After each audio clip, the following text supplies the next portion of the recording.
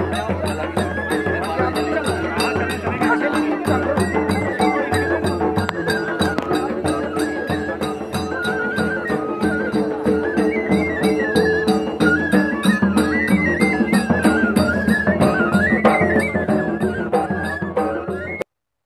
भैयो वीडियो कैसा लगा